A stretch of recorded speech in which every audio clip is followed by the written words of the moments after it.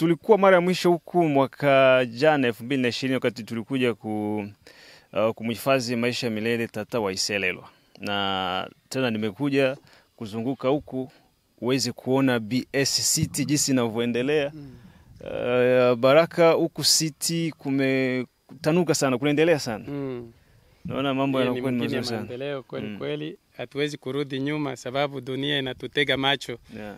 Wengi walizania kwamba kama baba tata wa Israeli anaenda kimwili Mm. kanisa ita, itatawanyika itakufa, Mm. lakini sababu yeye ni mtu Mungu kweli, Roho Mtakatifu Mm. aliacha napanga vitu vyote sawa, kama vile mm. baba wa Israeli wa neno aliweza kufasilia pale. Mm. Kanisa ni continuity, Mm, yaani mm. kwenda yake kimwili, kanisa inaendelea milele na inazidi kuwa na nguvu Yeah. na kama hakutakuwa waine wala watano Mm. utatu mtakatifu ni utatu mtakatifu. Sisi tunaendelesha yale yote kazi yenye baba alifanya, sababu yeye ni wa milele. Naam. Yesu aliahidi Roho Mtakatifu ni wa milele. Ya, uh, nataka nikuzungushe ndugu mtazamaji kwenye sit BS sit si, uh, si yote ni BS yote. Ndiyo, sit hiyo yote ndio BS. Yeah, tutazunguka na tutakuwa na, na maelezo kwamba hapa mm. ndo fasi fulani hapa ndo fasi fulani. Kutoka hapa nataka twende uh, kwenye muzole eh? Mm. ya kulumba ambako tuli- tulimhifadhi Tata Selelo. Na kabla tufike kwa Mm. muzole utaona hiyo ndio parade ya wazee Ah. 24 wa 24 vya. Ah, pale E, mbele wafanye vingine vyote ni hapo wanaketi wana- wanazungumza pale. wanazungumza mahabari ya, Okay. ya, ya kupekua mambo Sawa. Ya Uh, tutazunguka. Tutazunguka sehemu mbalimbali za za city. Mimi ndiye mwongozi wa Maelo Sayuni BS, kanisa yenye kupatikana ku makao makuu ya kanisa la tatu Malkia wa Ubembe. Na hapa ambako tunapatikana ndipo pale ambako tulisoma na watu wanasoma ndani ya historia kwamba Afrique c'est le berceau de l'humanité. Na berceau de l'humanité ndiyo hii monima ya utatu mtakatifu. Monima imesimamishwa sababu e, mtu wa tatu alionekana anakuja kukamilisha utatu mtakatifu. Na Mungu mwana Yesu, Mungu Baba Musa na Mungu Roho Mtakatifu tata waiselelwa, ndiye mtu wa tatu ambaye amekuja kueneza utatu mtakatifu, na ndio maana monima umejengwa dunia mzima itambue kwamba Place du Berceau de l'Humanité ni hapa ku Saint Siege ya kanisa la tatu Malkia wa Ubembe. Fanyika masherehe kubwa ya kanisa la tatu Malkia wa Ubembe, yaani kila mwa, miaka mbili mikutano inafanyika nje na mwaka wa tatu inarudia kufanyika hapa kwa makao makuu. Inaitwa Lubunga. Lubunga ni pahali pa mashauri, yaani watu wote wanakuja kuchukua mashauri hapa. Hapa wafalme wanakamata premier soin wakati wanaugua, mbele wafike kwa hospitali kuwa wanapokelewa kwanza ndani ya dispensaire kwa kuweza kupata matunzo ya kwanza.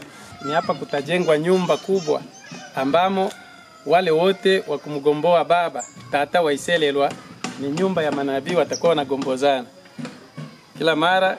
Kiongozi mkuu wa kanisa la tatu wa Kahama, yule anayemgomboa ni hapa kutajengwa nyumba yao ya city ili uweze kuona sehemu mbalimbali za BS City. Hapa tayari tuko kwenye hapa mnapataje kwenye uh, uh, uh, kitaaluma zaidi? Mimi nikisema makaburi. makaburi. Hapa ndiko mozole ya baba, ndani ya huu upango ambao mnaona hapa ni umo ndani ndiye tunahifadhi mwili wa tata wa Iselelwa. Alipokuwa hai, alikuwa kila mara katika mahubiri yake anatuambia, mimi nitakapoacha kimwili, kaburi langu litakuwa ni umu ndani ya hili kanisa. Lakini kanisa la mwanzo hapa ndio hii iligeuka mozole ya baba, alipandwa ndani ya, ya kanisa ambalo lilianza hapa kwenye makao makuu. Wakati tulikuja ku, ku, kumpanda hapa kulikuwa kuna ile kanisa ndogo. Ndio mwenyewe mwenye anapandwa ndio tunafanyia upango, Ah, ndio inaitiwa sasa mozole. Au ni upango tu. Ni upango, yeye iko ndani Okay. eh. Na hapo ndio maelo, hapa ndio CEO ya mtakatifu Alimasi Bilombele, ndiye baba yake wa mwili wa tata wa Iselelo wa neno. Ndio hii jengo lenye mnaona hapa lenye linajengwa hapa, Okay. baba yake wa mwili, sababu ni mtu Mungu kweli, alizaliwa na baba na mama, Mm. na hiyo ndio jengo lake ile La babake wa mwili. la babake wa mwili Ah. Mm. na tulipo kum, kumpanda humu deja mm. alikuwa tutayarisha kwamba tutayarishe kanisa yenye tutakuwa naingilia baada ya, ku, mm. ya kuhamishwa kwake. Ni iko kati ya miradi ambayo tulibaki nayo kwa kumalizisha ku, kutimiza baada ya tata Waiselelo kutuacha. hapa inaandikiwa identification de l'homme noir Sainte Trinite. Sababu gani hii imeandikwa hivi? Ni sababu kutimilika kwa utatu mtakatifu, mtu mweusi alikuwa yatambulikana katika vipindi vya Mwenyezi Mungu.